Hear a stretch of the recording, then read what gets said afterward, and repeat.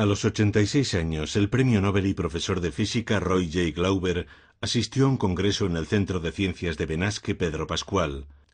Allí nos enteramos de que era el único científico vivo que había trabajado en la división teórica del proyecto Manhattan en Los Álamos, que dio como resultado la construcción de la primera bomba atómica. La última narración fidedigna de los hechos que cambiaron nuestro mundo debía conservarse.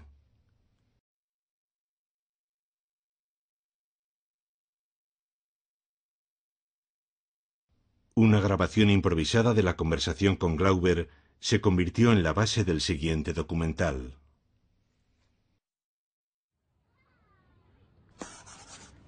Empecé muy pronto. Solo tenía 18 años. Sabía algo de matemáticas que había aprendido cuando estaba en el instituto. Aquello me permitió saltarme los cursos elementales de la carrera en la universidad.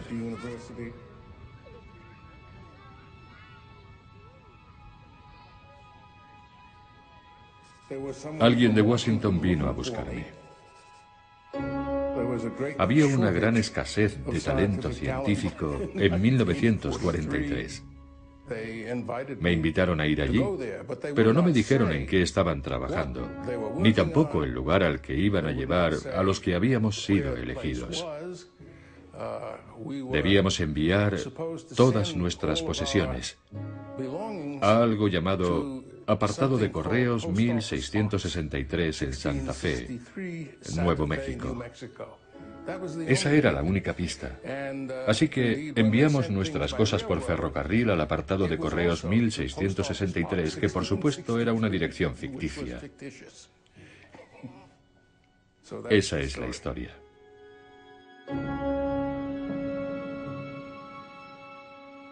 Esa es la historia. Roy J. Glauber recuerda cómo se hizo la bomba atómica. El 9 de octubre de 1941, el presidente Roosevelt aprobó un programa intensivo para desarrollar una bomba atómica. Un programa que sería conocido como el Proyecto Manhattan. Roy J. Glauber fue uno de los científicos más jóvenes en unirse al proyecto en Los Álamos.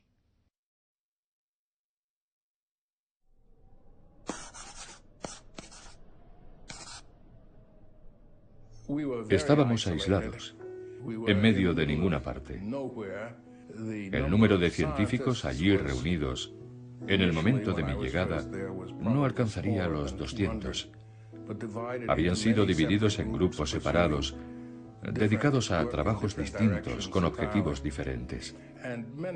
La dificultad de muchos de los problemas rozaba el ridículo. Algunos, de hecho, eran imposibles de resolver. Todo el trabajo técnico se llevaba a cabo en la denominada área técnica, una sección circundada por una valla de separación a la que solo se podía acceder con una identificación especial. El pequeño pueblo que rodeaba esa zona tendría tal vez unas mil personas en total, en su mayoría familias jóvenes. Casi todos los miembros del proyecto, pese a su juventud, llevaban casados unos cuantos años. Su proceso reproductivo era mucho más fecundo y provechoso que cualquier proceso ocurrido en el laboratorio. El ejército engendraba en aquellas instalaciones más y más bebés. La policía militar tenía una sección conectada con el laboratorio y todo estaba rodeado por una gran valla. Las vallas eran casi innecesarias, porque aquel inmenso territorio estaba cruzado por enormes cañones infranqueables.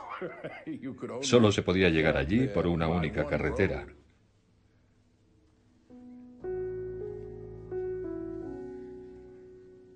Nos sentíamos un poco aislados, pero el clima era fantástico. Y hacer senderismo y pasear por el campo los fines de semana era algo maravilloso. Era un lugar extraordinario para la gente joven. ¿Que dónde comprábamos la comida? Bueno, el ejército garantizaba el suministro y había instalado una tienda de comestibles bien surtida. Y además veíamos películas. Las veíamos en el gimnasio, en un gran gimnasio de madera. Proyectaban largometrajes tres noches a la semana y la entrada costaba 10 centavos. Luz que agoniza.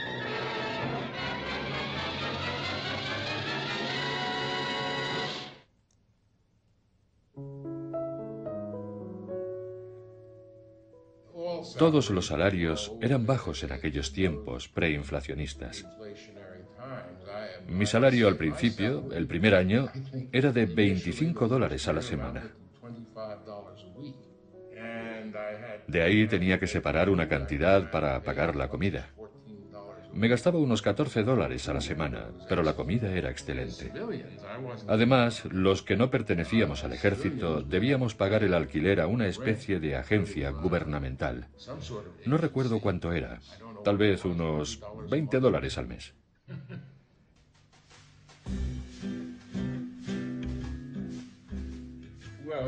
Era un destacamento militar. Así que no podías comprar una cerveza con una graduación superior a 3,2, un porcentaje alcohólico bastante bajo. Aunque eso no quiere decir que la policía militar no se emborrachara nunca.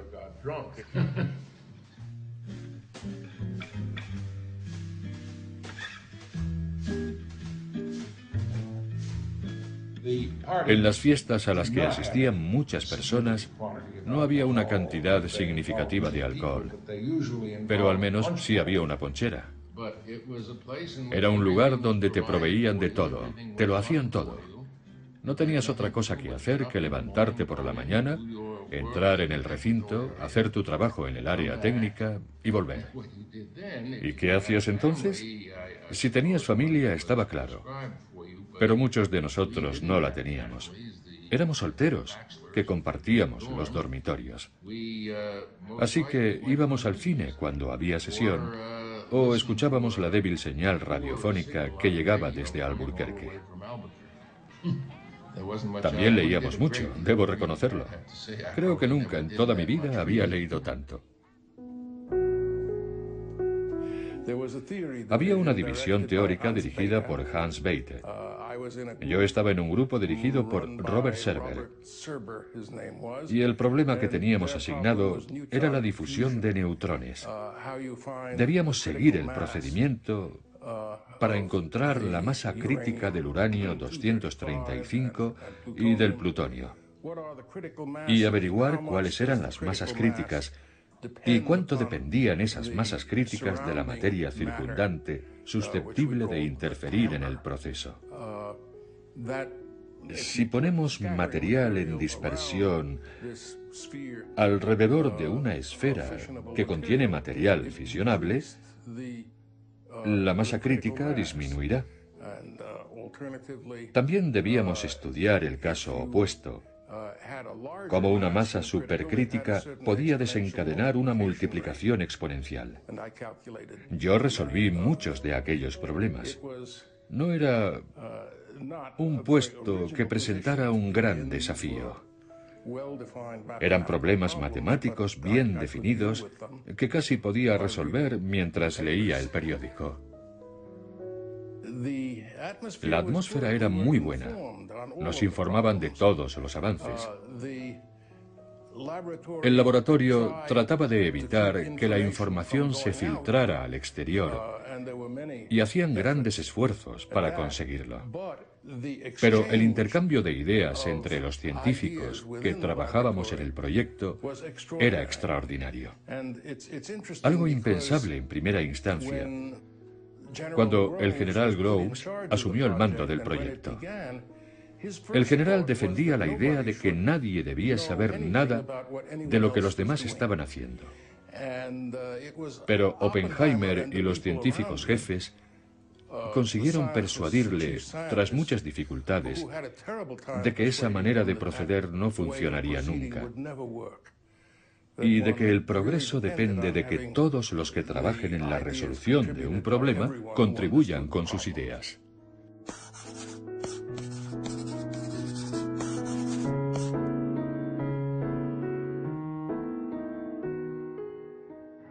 Sé que las bombas que hacemos en los álamos nunca llegarán a explotar si seguimos esas contramedidas. Oppenheimer conocía a la perfección el mundo de la ciencia. No había escrito mucho, y debo decir que lo que había publicado apenas se entendía. Pero era un gran conocedor y su habilidad para verbalizar ese conocimiento era extraordinaria. Todos estábamos de acuerdo en eso.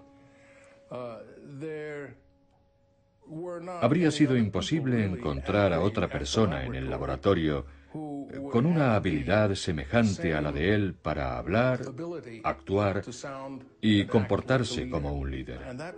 Y eso era extraordinario, porque nunca antes había mostrado tales cualidades. Su elección fue guiada por una especie de percepción del general Groves, lo que resultó extraño y notable, aunque al final se sintiera avergonzado por ello. Oppenheimer provenía de una familia rica y sofisticada de la ciudad de Nueva York, cuyo padre había emigrado de Alemania. Fue educado en colegios privados, y es muy probable que en su niñez no tuviera muchos amigos. En cierto momento le diagnosticaron tuberculosis y su médico recomendó a su familia que le enviaran al oeste, donde podría respirar un aire más limpio. Así que su padre compró una cabaña en las montañas al este de Santa Fe, en la Sierra de la Sangre de Cristo. Allí, él y su hermano pasaron momentos maravillosos, bañándose y montando a caballo durante los meses de verano. Por eso conocía también aquella región, cuya lengua local era el español. En esa parte de Nuevo México no se oía hablar en inglés.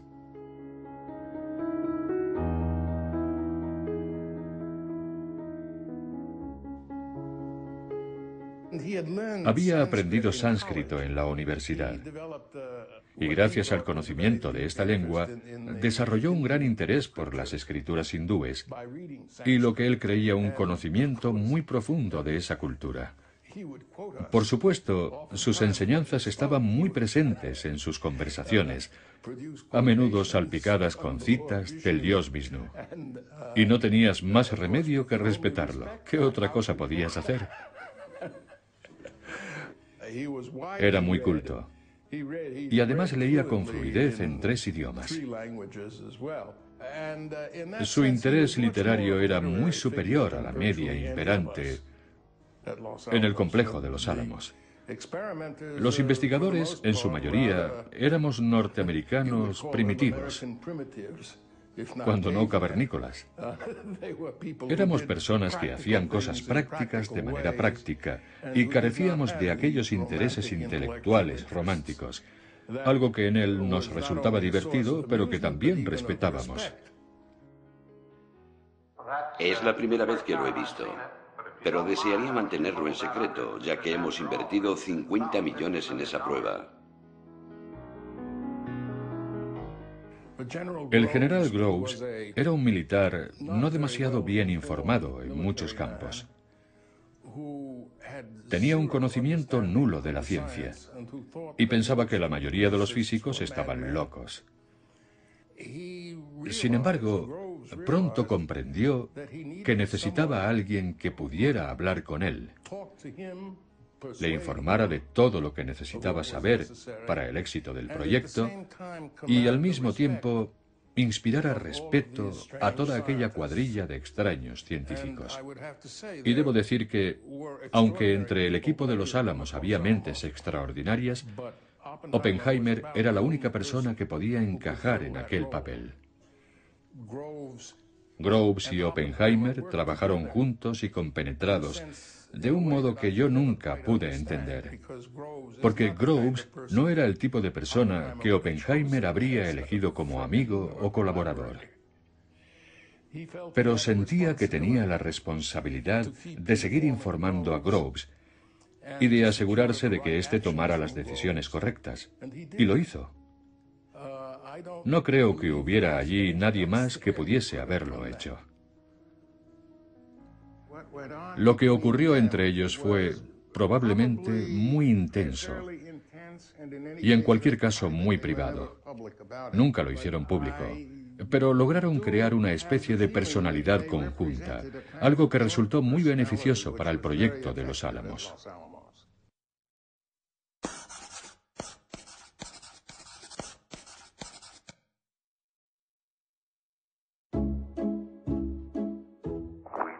Hicimos cálculos respecto al tamaño de la bomba y su funcionamiento, y respecto a la energía que podríamos llegar a generar.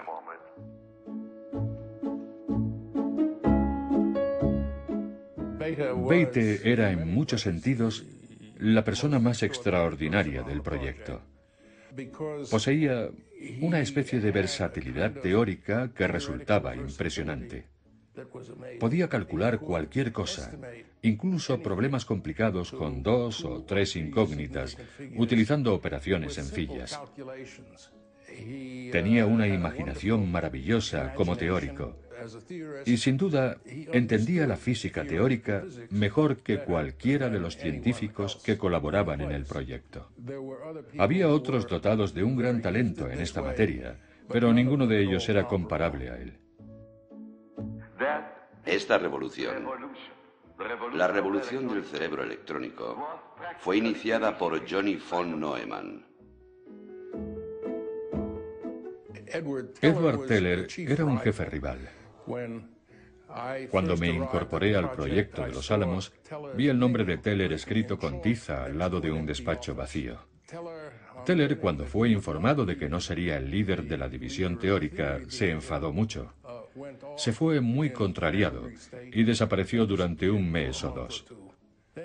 Cuando volvió, Oppenheimer le animó a formar un grupo propio, una división comandada por él que no estaría a las órdenes de Beite. Esa división tendría una única tarea, tratar de encontrar un modo de iniciar una reacción termonuclear utilizando el deuterio, un isótopo estable del hidrógeno. Teller comenzó a trabajar y se desvinculó por completo del resto del laboratorio. Era un hombre que disfrutaba siendo arrogante. Y el pequeño grupo que comenzó a dirigir apenas alcanzó algunos logros. Su éxito seguía siendo casi inexistente cuando yo abandoné el proyecto a finales de 1945. Algo que mucha gente que estudia física y viene de las matemáticas no aprecia es que la física y las matemáticas no son la misma cosa. La una complementa a la otra. Richard Feynman había estudiado en el Instituto Tecnológico de Massachusetts, donde incluso ganó competiciones matemáticas. Era inteligente y muy rápido. Después, como estudiante de posgrado, se doctoró en Princeton. Sus cualidades le empujaron a desarrollar una creciente imagen pública, una chispeante manera de presentarse ante el mundo como alguien brillante y diferente. Feynman era una fuente inagotable de historias divertidas. Se convirtió en un hombre espectáculo. Cuando acudías a una de sus conferencias, sabías que ibas a presenciar un acto original, ameno y ocurrente, que haría comentarios graciosos sobre algunos espectadores, que contaría chistes y que haría todo lo posible para que salieras sonriendo con la sensación de que nunca habías visto nada igual sin duda causaba una gran impresión. Adoraba ese tipo de historias en las que cada nuevo personaje era aún más estúpido que el anterior. Contaba sus chistes en el almuerzo y entretenía a todo el mundo en la mesa. Yo almorcé con él muchísimos días, aunque debo reconocer que, después de oír algunas de estas historias, más o menos adornadas por tercera o cuarta vez, terminaron aburriéndome. Sin embargo, seguían mejorando. Y siempre había un germen de verdad en cada una de ellas.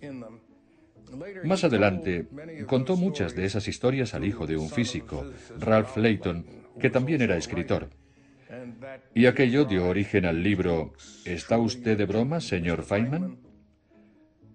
Y a una segunda recopilación de todos aquellos ocurrentes relatos que contó y adornó a lo largo de los años. Y debo reconocer que en los libros de Leighton eran aún más divertidos que los originales. A menudo celebrábamos fiestas junto a los barracones de los dormitorios de los Álamos.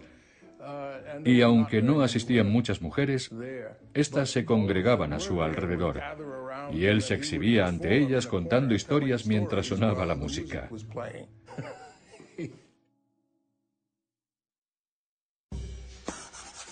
¿Qué están haciendo allí?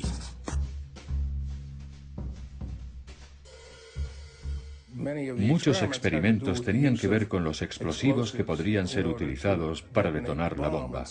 De vez en cuando, el recinto temblaba a causa de alguna explosión. Se suponía que las instalaciones de los Álamos habían sido levantadas lo bastante lejos de cualquier ciudad para que no fuera evidente lo que estaba ocurriendo.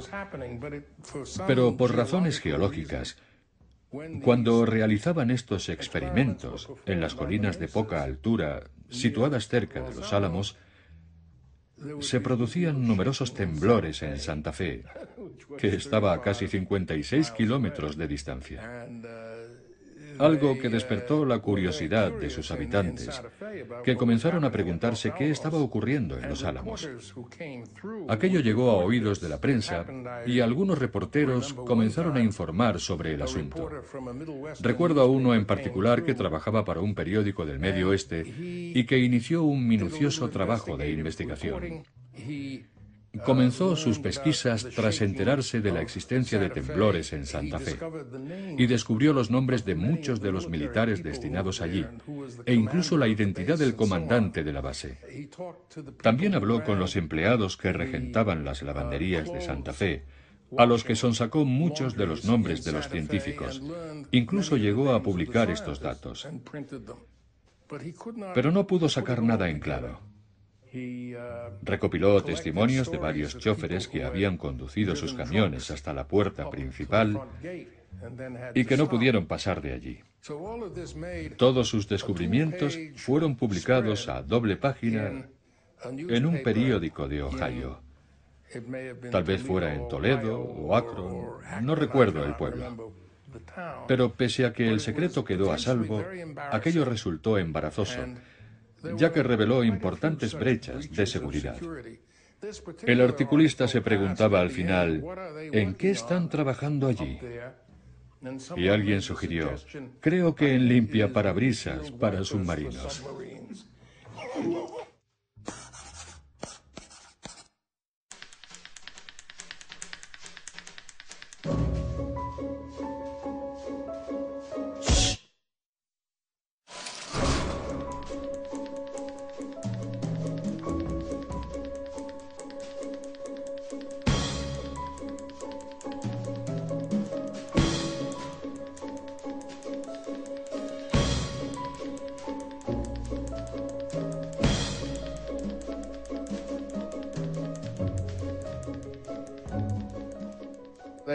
Tenían mucho cuidado con el lenguaje y evitaban la utilización de palabras como bomba, un término que nadie pronunciaba dentro del recinto.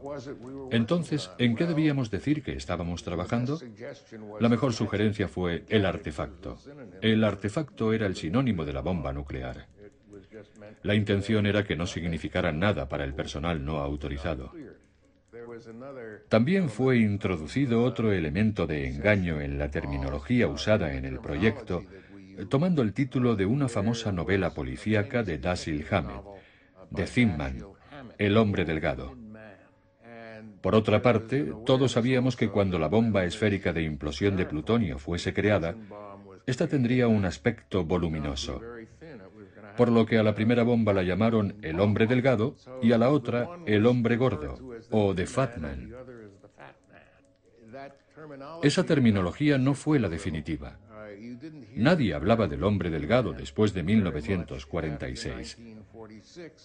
Alguien había decidido sustituir ese nombre por el de Little Boy o niño pequeño, porque no era una bomba demasiado grande podía ser transportada fácilmente por el bombardero B-29 utilizado en aquella época. La bomba de implosión era el objeto más grande que aquel avión podía transportar, y acomodarla en su interior requirió ciertas modificaciones. La bomba de Hiroshima era un objeto largo y delgado, en cuyo interior se alojaba un cañón. Este disparaba un cilindro de uranio 235 hacia un blanco del mismo material situado en el morro. La otra bomba, la de Nagasaki, era una bomba de implosión, la misma que fue testada en la prueba Trinity. La bomba de Hiroshima no fue testada, ya que su éxito se consideraba inevitable. Estaban bastante seguros de que iba a funcionar. Aún no había experiencia práctica en este campo, pero estaban persuadidos de que podían provocar una explosión nuclear. Así que comenzaron a transportar partes de la bomba que estallaría en Hiroshima a la isla Tinian. La escala de tiempo era muy amplia. Nadie pensaba que el artefacto fuera a ser utilizado a corto plazo. Así que decidieron enviarlo en barco. Creo que fue transportado en un acorazado.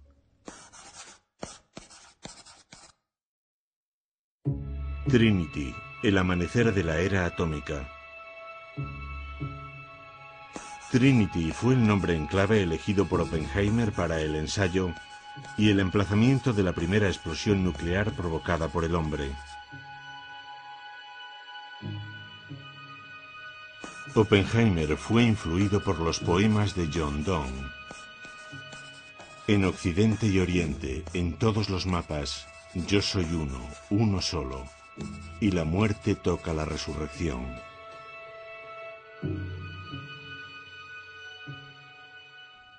Había una apuesta montada en la oficina de Oppenheimer.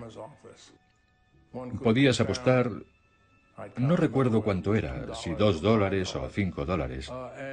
Había un cuadernillo y en él apuntabas tu predicción de la energía que aquella prueba iba a liberar. Las predicciones iban de cero hasta unas 100.000 toneladas de TNT, es decir, 100 kilotones. Y quien ganó la apuesta, si no recuerdo mal, fue un asesor del proyecto Manhattan que estaba de visita en Los Álamos, el físico Isidor Isaac Rabi. Era un hombre muy inteligente que tras mirar el cuadernillo buscó el intervalo más largo sin apuestas.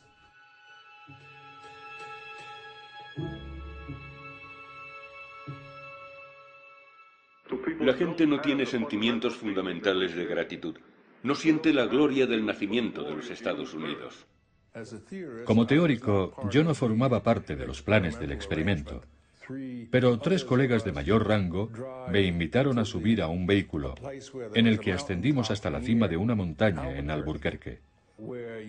Desde allí podíamos disfrutar de una panorámica de unos 120 o 140 kilómetros. La explosión se produjo más lejos de lo que esperábamos y el flash inmediato quedó oculto tras una colina. Pero de repente el cielo comenzó a iluminarse desde abajo. Y aunque había nubes, pareció como si el sol hubiera salido por el sur. 5, 4, 3, 2, 1. 16 de julio de 1945, a las 5 horas 29 minutos 45 segundos.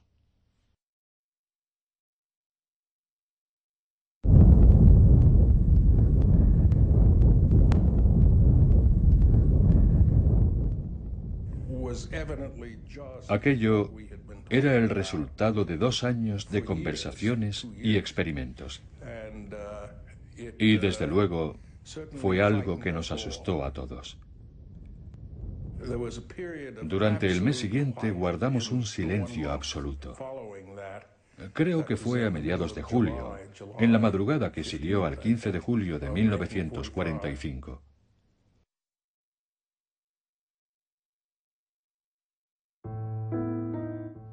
Es la materia prima de la era atómica.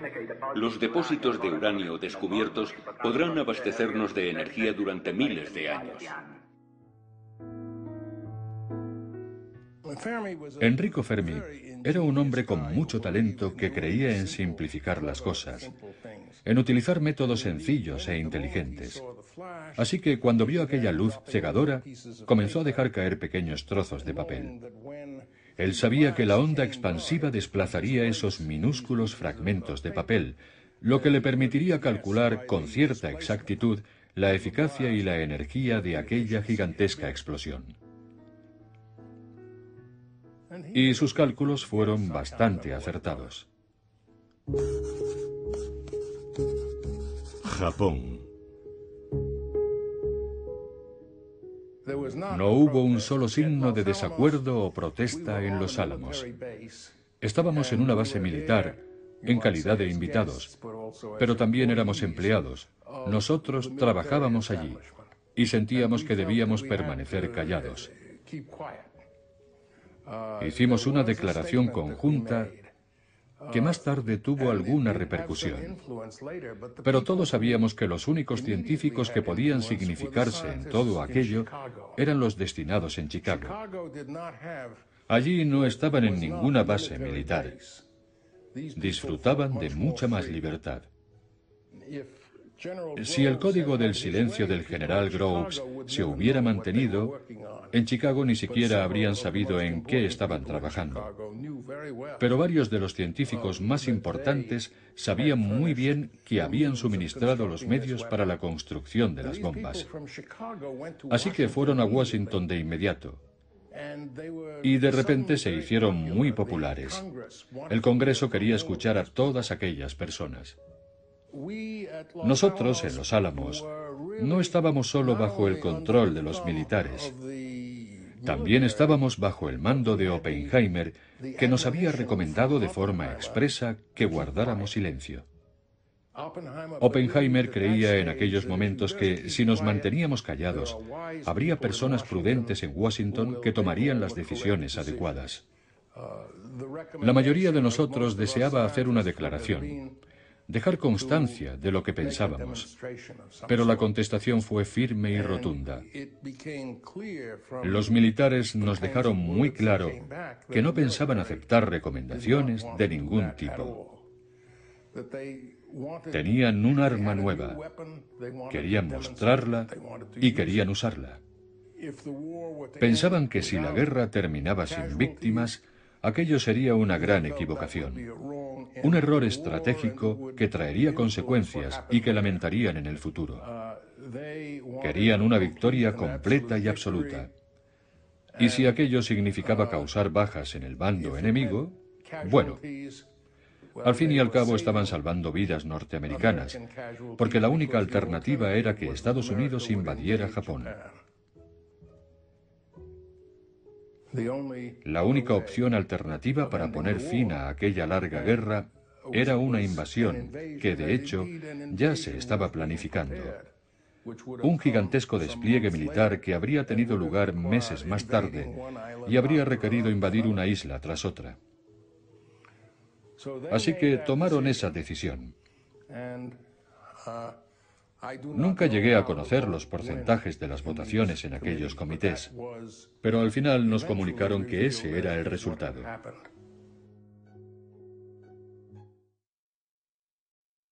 Bomba Little Boy, Hiroshima, 6 de agosto de 1945.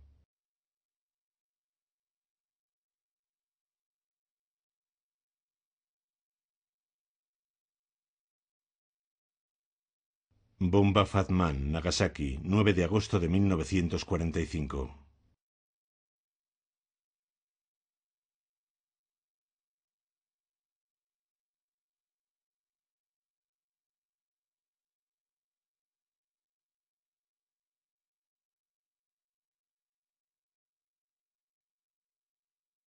Rendición de Japón, USS Missouri, 2 de septiembre de 1945.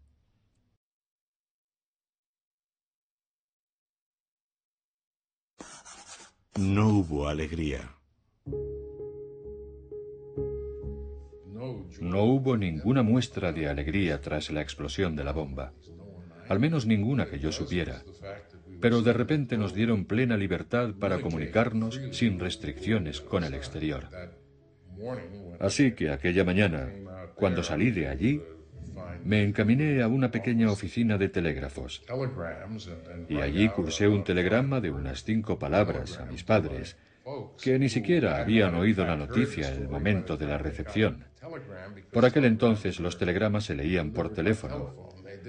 No lo repartían muchachos montados en bicicletas, que es la imagen popular que todos tenemos en la cabeza. Escucharon el texto a primera hora y no comprendían lo que significaba porque aún no habían leído el periódico ni escuchado la radio. Incluso se asustaron al escuchar algo como Soy yo, mamá.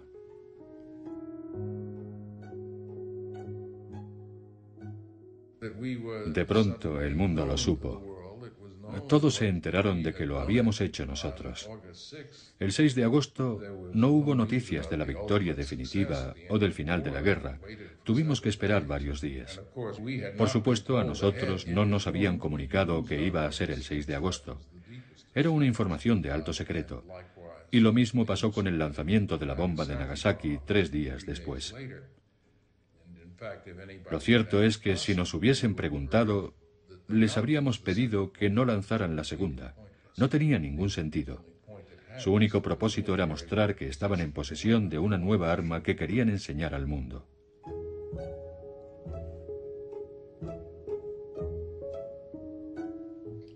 No debemos olvidar que ataques aéreos tan destructivos como aquel, e incluso más crueles, eran algo rutinario. Tenían lugar todos los días.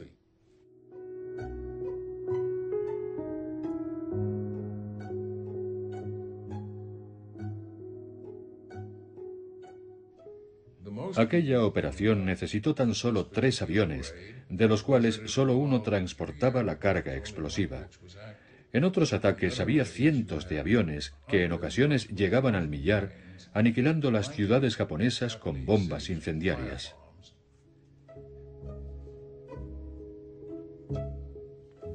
Asistir y socorrer a tantas víctimas que en Nagasaki ascendieron a decenas de miles, me temo que no era algo extraordinario. Ya había ocurrido en la guerra de Europa mucho antes. Y hay una pregunta muy interesante para la que no tengo una respuesta clara. Si hubiéramos logrado fabricar la bomba unos meses antes, ¿habría sido utilizada en Europa? ¿Y cuándo, cómo y dónde? Podríamos debatirlo una y otra vez porque es una cuestión muy complicada.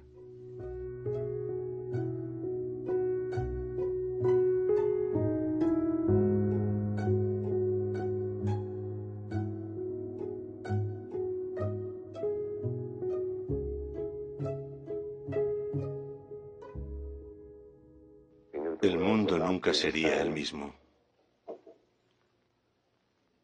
Algunos rieron. Otros lloraron. La mayoría guardó silencio. Recuerdo una frase de las escrituras hindúes, del Bhagavad Gita. Vishnu está intentando persuadir al príncipe para que cumpla con su deber. Y para impresionarlo, toma su forma con múltiples brazos y dice, me he convertido en la muerte, en el destructor de mundos. Supongo que todos pensamos más o menos lo mismo.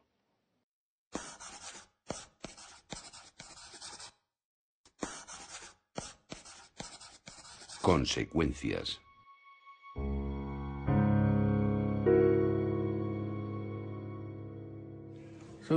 Los últimos meses de 1945 fueron extraños e intensos. Los científicos que trabajaban en Chicago e incluso unos pocos de Oak Ridge fueron a Washington con la intención de explicar al Congreso todo lo que sabían sobre las armas nucleares. Los científicos de los Álamos permanecimos muy callados porque estábamos viviendo en una base militar y porque Oppenheimer pensaba que si nos manteníamos callados, todo iría bien. Sentíamos un gran respeto por el ministro de Defensa Henry L. Stimson y confiábamos en Oppenheimer. Pero al final, el debate sobre el rumbo que debía tomar la producción de armas estratégicas se encendió tanto que ya no pudimos permanecer más tiempo en silencio. Y elaboramos una declaración para el presidente Truman que aunque nunca se hizo pública, se convirtió en la base de la declaración presentada por el propio Harry Truman, en la que expresaba el deseo de Estados Unidos de instaurar un control internacional de la energía atómica y las armas nucleares. Fuimos influyentes en ese sentido. Una vez hecha la declaración, varios científicos de los Álamos fueron a Washington para defender el caso directamente. Durante los dos años siguientes se realizaron grandes esfuerzos para la creación de una autoridad que garantizara el control de la energía atómica en Norteamérica y en el ámbito internacional. Hubo propuestas magníficas, pero ninguna de ellas llegó a buen puerto. Los rusos siempre ponían obstáculos en el camino. Primero querían desarrollar el arma ellos mismos. Ya habría tiempo después para empezar a hablar.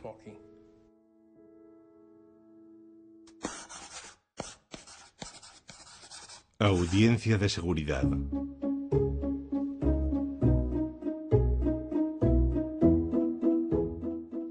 En los años inmediatos de posguerra, Oppenheimer fue una figura singular en Norteamérica. Personajes de todo rango y condición querían conocerle y ser vistos y fotografiados junto a él. Le entrevistaban, le idolatraban, como se suele decir. Continuamente veía su foto en todas partes. Era un héroe norteamericano. Pronto se convirtió en alguien muy influyente. Oppenheimer daba su opinión y ésta tenía un gran poder de persuasión en el mundo científico. Pero también había otras personas muy influyentes en Norteamérica y algunas de ellas manifestaban abiertamente su desconfianza hacia Rusia. Proclamaban que nunca se podría alcanzar un acuerdo con ellos y que lo único que el país podía hacer era armarse hasta los dientes. Edward Teller, que había mantenido ese punto de vista desde el principio, seguía intentando persuadir a los dirigentes de Washington de que incrementaran su esfuerzo armamentístico y fabricaran un arma termonuclear, la bomba de hidrógeno. Los científicos rusos terminaron fabricando esa bomba. Y aquello aterrorizó a todo el mundo. Truman no tuvo otra opción. Tuvo que lanzarse hacia adelante a toda velocidad para que su país dispusiera cuanto antes de la bomba de hidrógeno. Es probable que el hombre clave de este proyecto, el que jugó el papel más importante y decisivo, fuera el matemático polaco Stanislav Ulam. Ulam había demostrado ser un matemático muy hábil en el razonamiento abstracto cuando estaba en Los Álamos, que es cuando yo le conocí mejor. Desarrolló una habilidad práctica para hacer cálculos, cálculos reales con problemas de ignición, en primer lugar, y más tarde con problemas de difusión. Y todo parece indicar que, en última instancia, desempeñó el papel más importante en el desarrollo del arma entre 1951 y 1952, año en el que se realizó la primera prueba en el Pacífico. Teller, mientras tanto, continuaba trabajando en contra de la opinión de Oppenheimer, que había manifestado una y otra vez, esto fue en el periodo del 47 al 49, que no necesitábamos una reacción termonuclear. No solo no sabíamos cómo construirla, sino que tampoco la necesitábamos. Para Teller, todo aquello era una sarta de tonterías. Había que construir la bomba de hidrógeno, y cuanto más grande mejor. Estaba decidido a crear el arma definitiva. Los estadounidenses, con un espíritu, digamos, más primitivo, las personas menos sofisticadas, comenzaron a inclinarse hacia las ideas de Teller. Hubo un verdadero enfrentamiento. El político al que nombraron director de energía atómica era Louis Strauss, al que llamaban almirante pese a no haber servido nunca en la Marina. Strauss consideraba que su deber era construir la superbomba en el menor tiempo posible. Y comenzó a sentir que Oppenheimer quería tomarse aquello con demasiada calma. La verdad es que Oppenheimer se mostraba bastante apático. Aquello generó un conflicto. Oppenheimer tenía una forma de ser bastante arrogante y a menudo era despectivo con las personas que no estaban de acuerdo con él, a no ser que rebatieran su opinión con argumentos sólidos y brillantes. Louis Strauss se sintió insultado por la displicencia de Oppenheimer y poco a poco intentó disminuir su extenso radio de influencia. Al final, tuvo que recurrir a una maniobra no demasiado ética, poner en duda su lealtad. Oppenheimer había cometido muchos errores como intelectual romántico. Había hablado con personas equivocadas y había mantenido conexiones que podían ser consideradas sospechosas y desleales. Los conspiradores se cebaron con Oppenheimer y en el año 1954, creo recordar, celebraron un gran juicio por deslealtad. Un proceso sin precedentes en la historia legal norteamericana. Fue un procedimiento en el que inventaron sobre la marcha sus propias reglas legales. Incluso pincharon su teléfono y grabaron todas las conversaciones que mantuvo con sus abogados. En cierto modo, fue poco inteligente por parte de Oppenheimer permitir que ocurriera esto. Podría haber renunciado a su acreditación de lealtad y desligarse de los proyectos. Y pasado algún tiempo, es probable que hubiera sido rehabilitado. Pero lo celebrado allí fue un gran proceso dramático amañado en el que su deslealtad ya estaba acordada. Y eso era una tontería.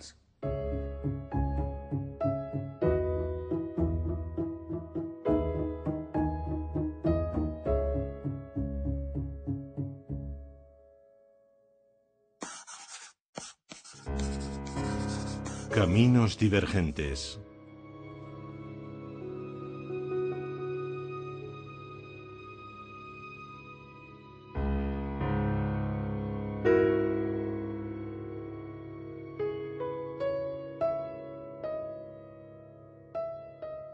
No me gustaba la idea de seguir trabajando en secreto. Ya no la encontraba atractiva. Por otra parte, descubrí que mis colegas competían duramente unos contra otros para entrar. Era su manera de conseguir poder e influencia. Y esa no era la clase de poder e influencia que yo quería. Sentía que ya había estado allí, que no quería hacer esa clase de cosas. Y veía a todos aquellos personajes empeñados en fabricar la bomba de hidrógeno, algo que entonces me parecía inútil y hoy continúa pareciéndomelo. La construcción de la bomba termonuclear nunca tuvo ningún sentido, salvo convertirse en la peor de las amenazas. No es un arma apta para destruir nada que quieras destruir. Fue una locura desde el principio. El mundo sería mejor si nunca la hubieran desarrollado.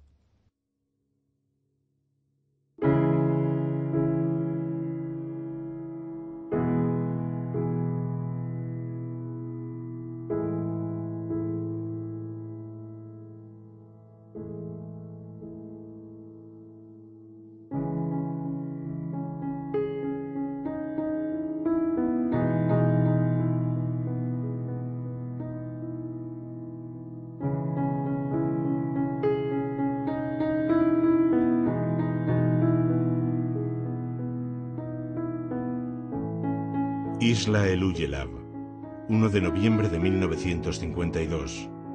Operación Ivy.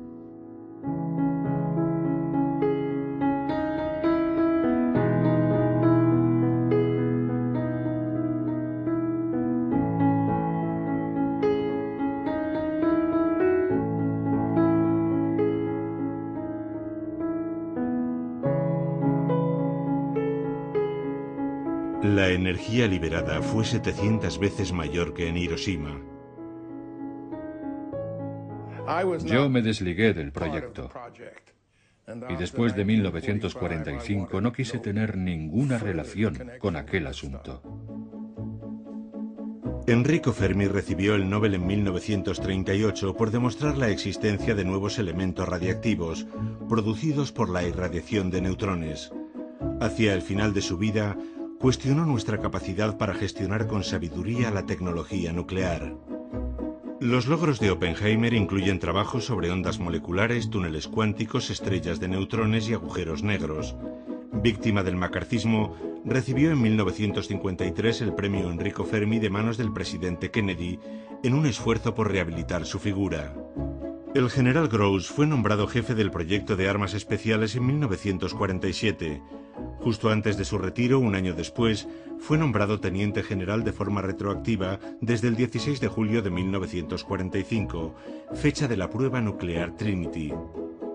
Stanislav Ulam, además de sus contribuciones a la bomba termonuclear, destacó en los campos de informática, matemáticas y biología fue uno de los fundadores de los métodos de simulación de Monte Carlo.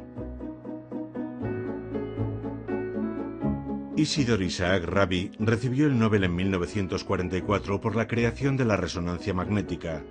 En sus últimos días, fue examinado en una máquina de última tecnología basada en su investigación.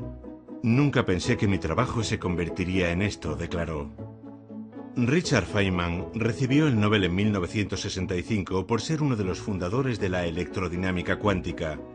Su ingenio y su incansable enfoque crítico ante el conocimiento establecido lo convirtieron en un científico famoso. Edward Teller se negó a trabajar con el grupo de Beite en Los Álamos. Tras la guerra, presionó con vehemencia para que se iniciara la fabricación de la bomba de hidrógeno. En 1954 testificó contra Oppenheimer. Hans Bethe recibió el Nobel en 1967 por sus estudios teóricos de las reacciones nucleares y especialmente por sus descubrimientos de la producción de energía en las estrellas. Tras la guerra, fue una voz destacada contra la proliferación de las armas nucleares. Roy J. Glauber fue uno de los científicos más jóvenes de los Álamos, Trabajó en los cálculos de la masa crítica durante dos años y tras su marcha se licenció en Harvard en 1946. Glauber recibió el Nobel en 2005 por su contribución a la teoría cuántica de coherencia óptica.